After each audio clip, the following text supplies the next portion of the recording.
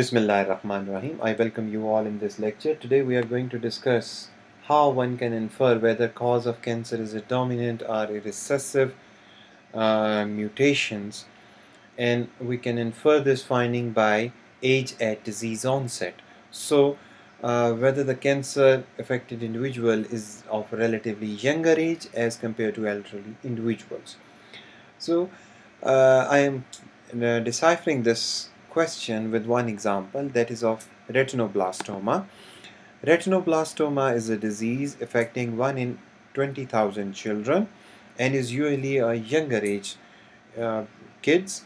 Now it is existing in two forms. One is the unilateral, so one eye is involved. In some cases both eyes get infected. There is a tumor formation in both eyes and which is causing an extrinsic pressure, extrinsic amount of pressure on optic nerve too. So uh, we want to understand how the retinoblastoma causing gene RB localized on 13 chromosome distinguish a dominant or a recessive pattern.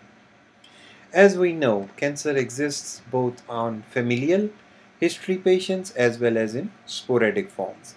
So let's take a look on familial retinoblastoma cases.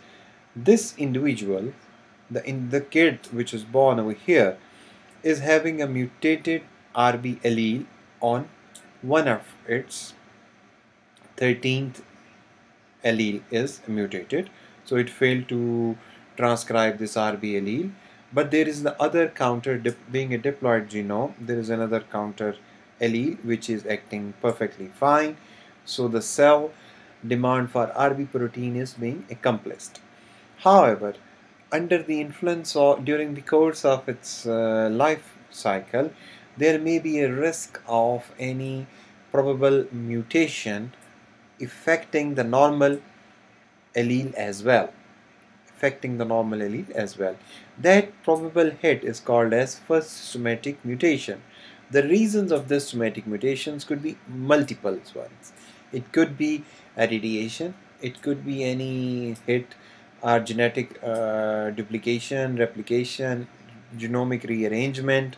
Maybe multiple factors are involved. So based on that first hit both the RB alleles get mutated. The first one having a germline history. The second one is being hit by the environmental influence. So it results in a disease onset now the disease onset usually become bilateral because every cell of this individual contains a mutant RB allele. So the chances of one hit lead to a disease provocation on both eyes. Bilateral eyes are affected. Well, what is the case of sporadic retinoblastoma? Sporadic retinoblastoma means both the RB alleles are perfectly fine. They are producing RB protein required by the cell. At some time point, one of the allele on one tissue get affected.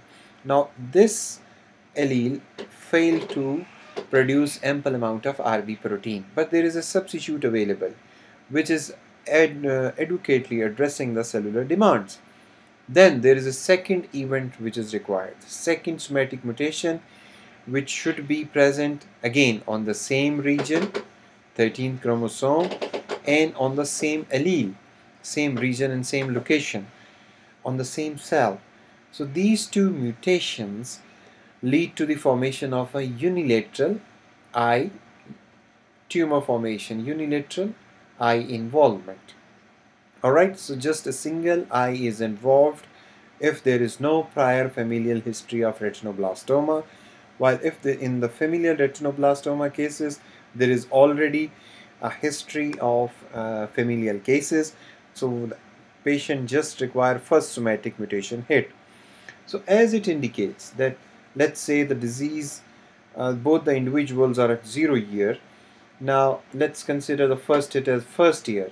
So just one event is sufficient enough to provoke a disease in familial child as compared to the, ch uh, the child which have a sporadic retinoblastoma, the child age may exceed from 2 years to 3, 4, 5 or furthermore depending upon uh, the environment and the factors present inside the cell.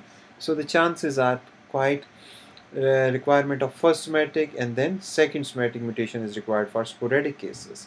Okay, so it means the disease at early onset, disease at early onset have a germline history. Because this is a germline mutation present in every cell of that individual germline over here this is a sporadic one. So only the somatic mutation which is localized to any particular tissue or any infected area. So we can uh, infer the same findings use, by using this graphical approach. Alfred Knudson was the scientist who proposed this idea of two-hit model and one-hit model he says that uh, the germline mutation carrying individuals always have early disease onset when compared to somatic or sporadic models where there is a, a requirement of two somatic changes or two anomalies to happen for a tumor initiation. So if we look at this graph, what we are observing over here, on x-axis we see age in months for the kids. Now over here we say the percentage of cases not yet diagnosed at age indicated. So from 0 to let's say 6 months of age or let's say 3 months of age. So 0 to 3 months of age there is a minor hit but there is one case which has been reported over here. So generally speaking the incidence of retinoblastoma, incidence of retinoblastoma are higher are higher bilateral line have a higher incidence of retinoblastoma in the patients with the age less than two years. I'm writing it two years just with an intention so that you can get a distinctive identity. So the babies born and are affected with a tumor formation less than two years of age have a background history of germline mutation. As we have explained over here familial retinoblastoma they carry a mutant RB allele.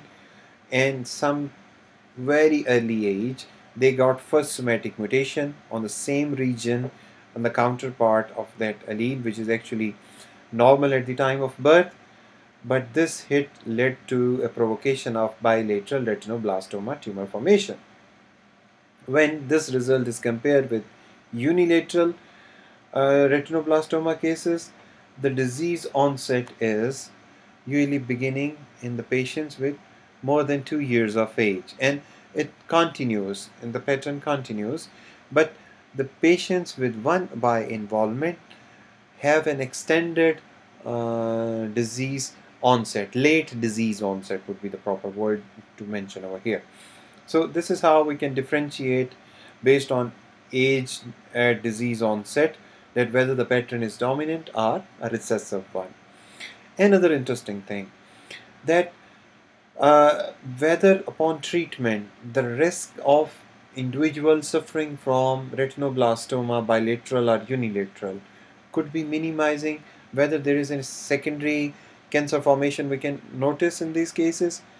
Over here it has been observed that the individual suffering from unilateral retinoblastoma cases, the chances of suffering from any other cancer during the course of uh, treatment or extended its life uh, age is relatively low. Only 5% individuals will be suffering from any other cancer. When contrastly observed with the bilateral retinoblastoma cases. So here you can see the rise is substantial enough.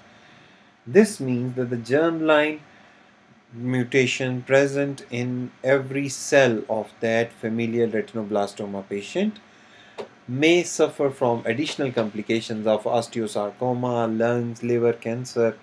Based on the early disease onset, we can infer this information.